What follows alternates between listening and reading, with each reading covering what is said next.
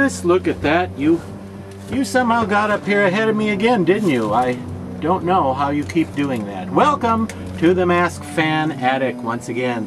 The spooky old attic above Horror Hotel where we look for cool monster masks for all you Halloween enthusiasts, all you Halloweenatics. Yeah, I'm still working on that one. Um, let me tell you, uh, kids, uh, if, if you're online, uh, don't ever click on an offer for a club membership because then every month they'll send, well never mind.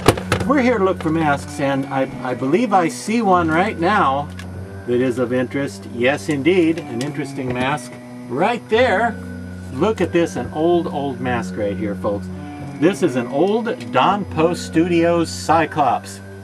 And aren't you glad you have me to tell you it's a Cyclops because you probably would have never dreamed that was the name of it uh, without me to inform you. Anyway, this particular Cyclops based on the 1958 movie The Seventh Voyage of Sinbad in which the Cyclops was one of several monsters uh, brought to life through the brilliant stop motion animation techniques of the legendary Ray Harryhausen. Now, um, if you're a Ray Harryhausen fan, and how can you not be a Ray Harryhausen fan, really, if you're a fan of uh, screen fantasy in any form, uh, you should love that they made a mask of one of his great monsters, the classic Cyclops. Now this came out from Don Post Studios in, I believe, 1976. It was in production for several years.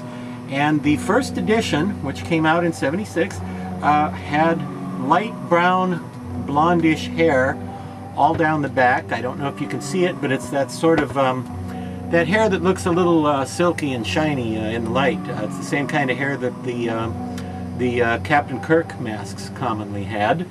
And it's got a full head of hair in the back and then a little bit, I don't know if you can see those, a few little loose hairs punched in around the brow and around his horn. Now, uh, in the movie, the Cyclops had no hair at all, so really it's a little more accurate for it to be hairless um, unless this is maybe the brother or a friend or a neighbor of the Cyclops in the movie, and this one has hair. You know, who says it's the exact same guy, right?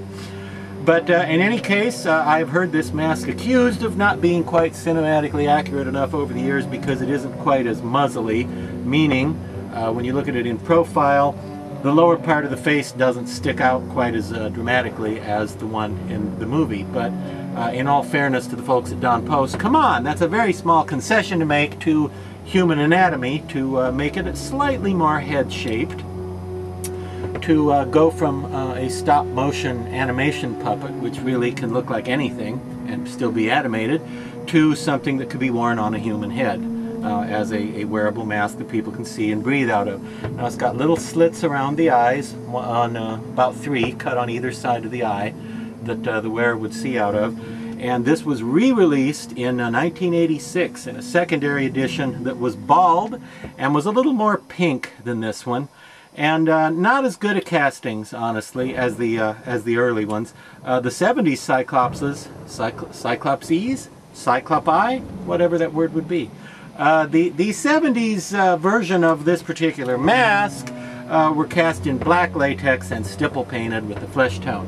The 1986 release and the even later 2000 release in the retro series were simply flesh colored latex and not quite as thick, didn't hold up as well, and uh, they're still cool, but um, you know, this is one of the masks that I, I always wish uh, Don Post Studios would come out with a really deluxe, you know, uh, high-end collector version of like the they did the uh, calendar monsters in um, 98 99 uh, and I'm assuming you know what I mean by calendar monsters. If not um, go watch some more of these segments and uh, it'll get explained. I'm not going to explain the whole thing right now. No people be dying of old age. They probably are already. Uh, but this particular mask I hold in my hand the actual mask that I have owned since childhood for real.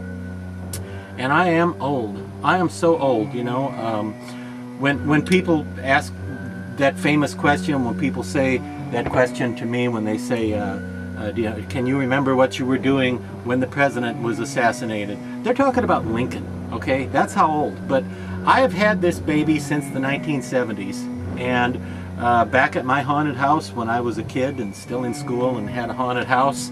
At Halloween, a classmate of mine named Matt Baldy wore this actual Cyclops mask, which I hold in my hand a million years later. Um, and and he was a big big guy, big kid, so he looked good as a as a Cyclops. He he had uh, like a big canvas uh, tunic and a rope around his waist, and this and it was awesome. But anyway, long time ago, I'm thinking maybe 1978, seven or eight. Uh, Matt Baldy wore this, and I don't know what became of uh, my old schoolmate Matt Baldy. I don't know what happened to him since then. I haven't seen him since graduation. Probably he was never the same because of his exposure to Don Post Cyclops masks. But that's your uh, that's your find for this week here the Mask Fan Attic. And until next time, watch your step because it is extremely dangerous up here.